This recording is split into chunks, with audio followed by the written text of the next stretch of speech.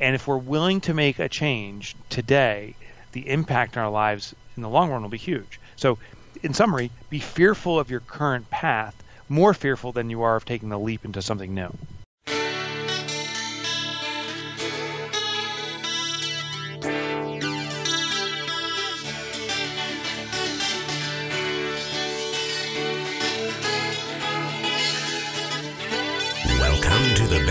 Day podcast radio show with Bruce Hilliard. Today and every day, reaching out for innovative ideas in every way. Today's show is brought to you by your future. It comes with a lifetime guarantee. Welcome to you, and a big welcome to our guest, Mike Michalowicz.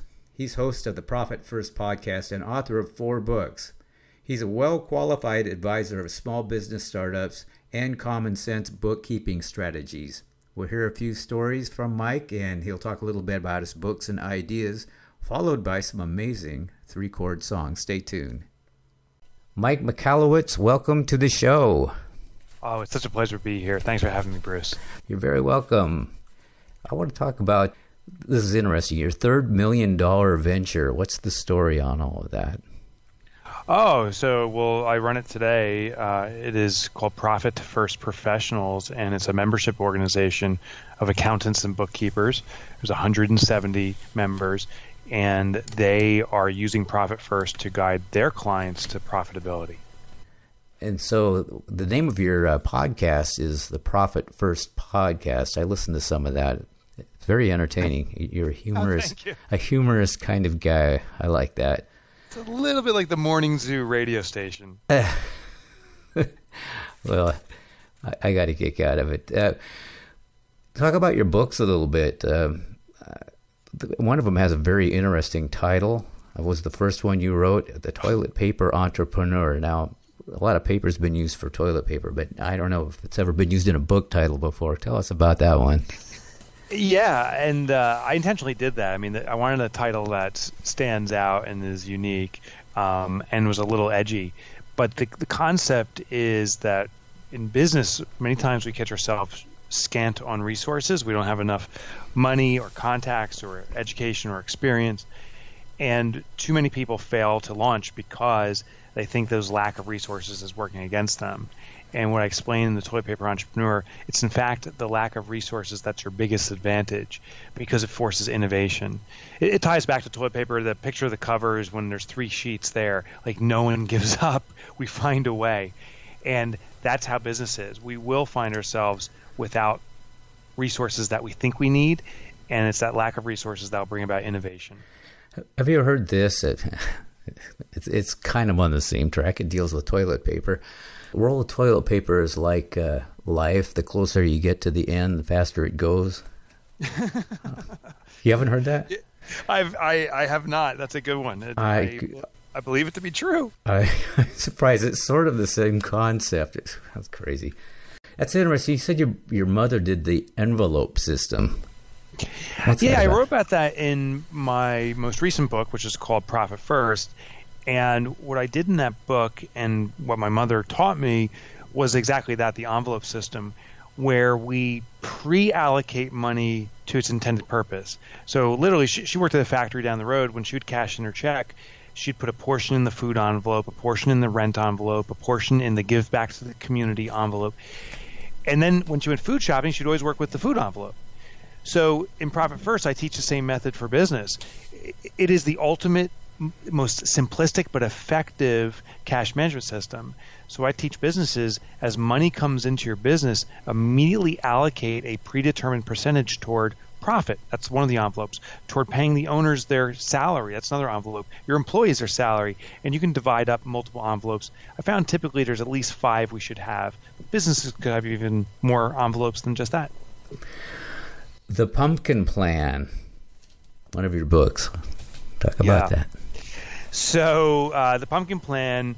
Uh, there's a lot of parallels I run in my books um, to life experiences. So in the pumpkin plan, I by a unique confluence of events discovered pumpkin farmers and not the ordinary pumpkin farmers, but these colossal pumpkin farmers, and found that they use the same methods as the ordinary pumpkin farmer, but with only slight modification, and as a result, the pumpkin responds with explosive growth.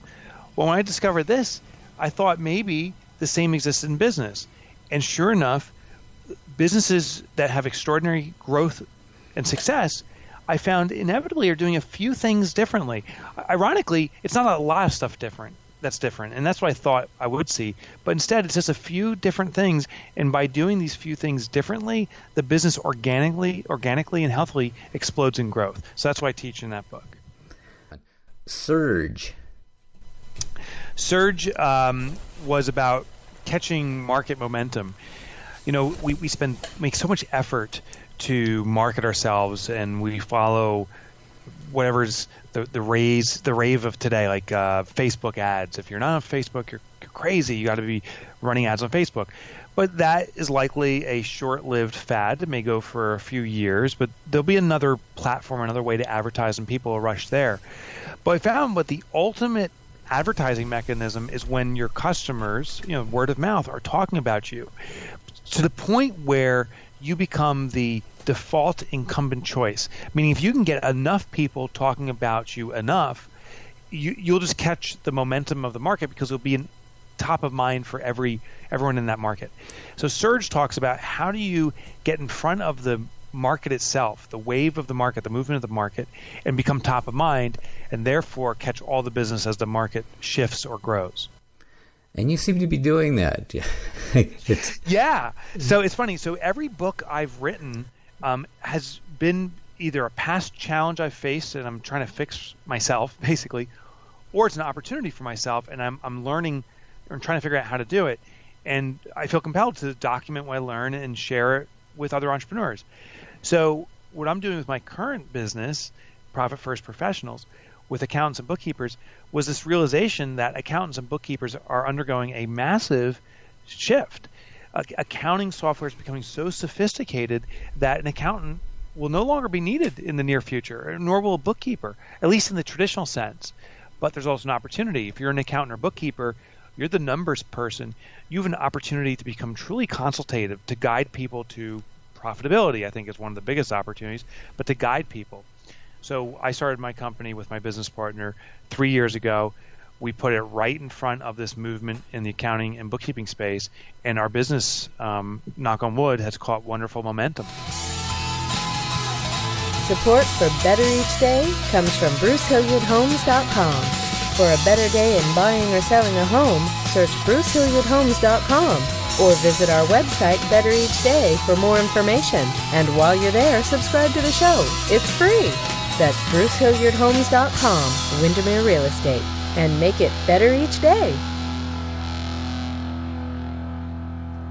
You speak about uh, failures that you've had, uh, and I think the number one reason people don't go into entrepreneurships uh, is because they're afraid of failing. They're just it's just fear. Period. Mm. Yeah. So failure can absolutely paralyze us, and you know, I, I do talk a lot about that mindset. I think the the biggest thing that we can do is to consider the failure of not doing. Um, if we can make it more fearful of staying put than it is to make a leap, we'll be more successful. And actually, I open up uh, one of the books, The Pumpkin Plan. I open up with a story of the old man in the rusty lawn chair. Kind of touches back to what you're talking about. The the second half of life goes faster than the first half, and as we near the end, it, it starts picking up momentum. So, in the opening part of the book, I talk about the the elderly guy who's in the rusty lawn chair drinking half a glass of lemonade, hmm. looking back at his life, and it's sadly mostly regret. I wish I could. I wish I did this. I should have done that. And what brought him to that point was just repeating the pattern of doing what he's always done you know our growth, our change will only come about if if we change.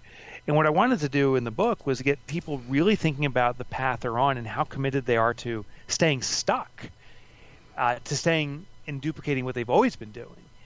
And if we're willing to make a change today, the impact on our lives in the long run will be huge. So, in summary, be fearful of your current path, more fearful than you are of taking the leap into something new You mentioned uh, this kind of topic came out of the, I don't know, sidebar.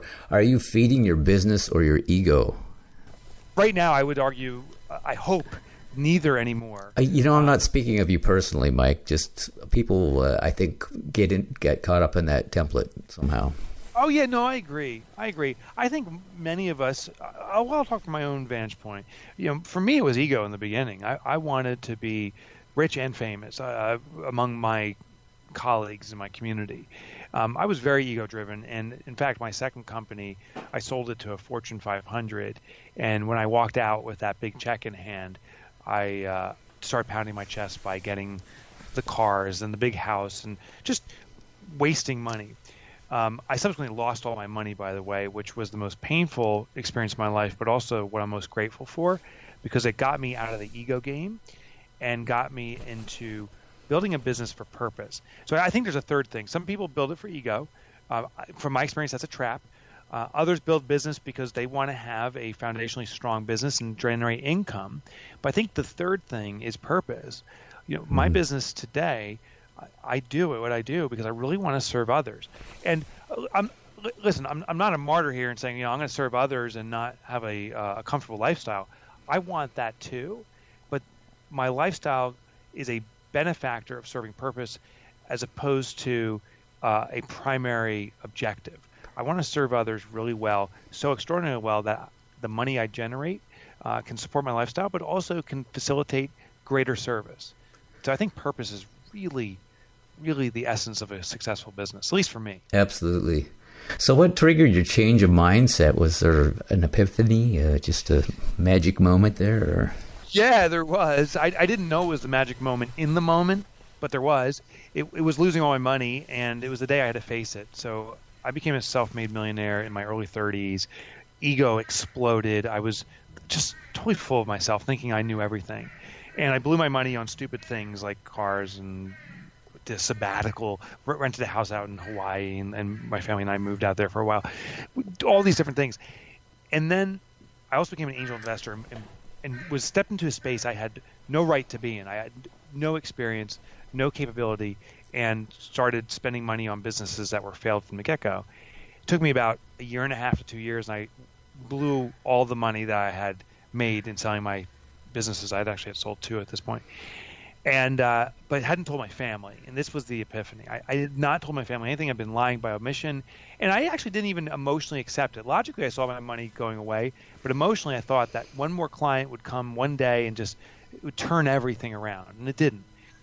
I hit rock bottom, and uh, rock bottom was February 14th. I'll never forget it. Valentine's Day, 2008.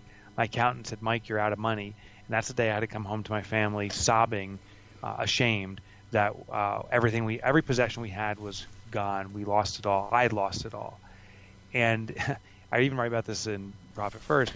My nine-year-old daughter at the time runs out of the room and runs back in with her piggy bank, and she puts in front of me and says, "Daddy, I'm going to support our family." And that was just a uh, that's a moment that will go with me forever. I, I will never forget that moment and that became the turning point. Not in the moment. Like in the moment, I was just devastated. I was proud of her, but just devastated and embarrassed and ashamed of myself. But as I reflected back upon that, as time moved forward, I realized that I needed to really understand how to run a business healthily, and that actually inspired me to become an author and start writing books. Originally to to fix my own cause, my own challenges, and then subsequently to serve others that face the same challenges. So, on a happy note, you play guitar, I understand. Yeah, I do. I got two here in the office. what do you play? Um, well, rock, like just anything that people can sing to. I'm a three chord guy. Like you know, that's I, all you need.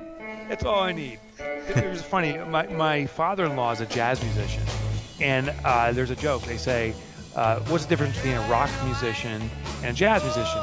he said, well, a rock musician can play three chords in front of a million people, and a jazz musician plays a million chords in front of three people. I like that. Yeah, and if you could get paid by the note, that would be good too. Yeah, the, yeah. The, oh my God. What kind of music do you listen to? Uh, you know, I, I, do listen to everything. I mean, everything. I mean, jazz to folk to. I, I personally prefer rock, but rock to country um, to classical. So when I walk in, I have a, one of those Amazon uh, music players. I'll come in and just set it to randomize, and I may be spending the day listening to jazz or to uh, Bach and Mozart or to you know Def Leppard. I don't know what's coming, but okay. Well, thank you for very much for uh, speaking with us, and uh, I'll put uh, your books and your information on my show notes. I want to wish you the very best. You take care. I'm wishing you the best too, Bruce. Thanks for having me on your show. All right. Bye bye. Bye bye. Support for Better Each Day comes from BruceHilliardHomes.com. For a better day in buying or selling a home, search BruceHilliardHomes.com or visit our website Better Each Day for more information. And while you're there, subscribe to the show. It's free. That's BruceHilliardHomes.com, Windermere Real Estate. And make it better each day.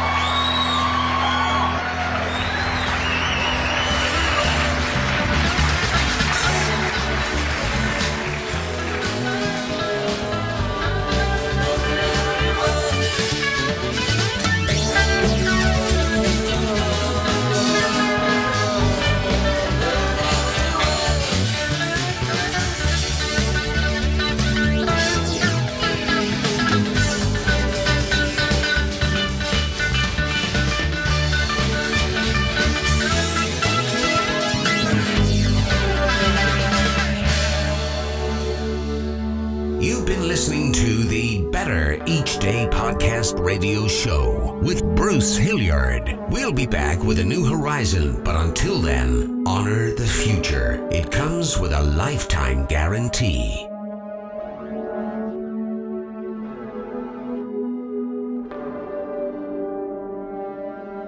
We're all just trying to make the next day a bit better.